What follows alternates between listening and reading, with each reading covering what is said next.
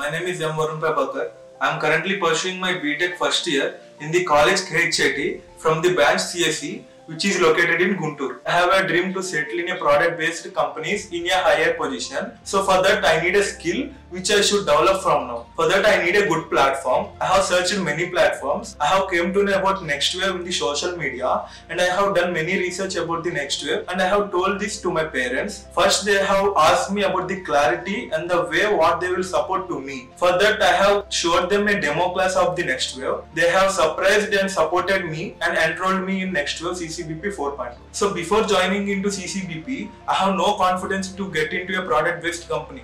But now I am sure that I have confidence to get into a product based company with the highest paid job. In CCBP, I loved the debugging option which helped me to represent my code line by line and which gives me a clarity of my program. And the way of teaching was simply super and I can understand every concept from the depth itself in an easy manner. Compared to my friends, I am able to learn new technologies easily because I am learning every concept consistently from basic level. I want to thank my parents for supporting me and enrolling me in CCBP 4.0. My suggestion for everyone is start early and learn the new technologies and explore the technologies that are required for the companies and start from basic level and go ahead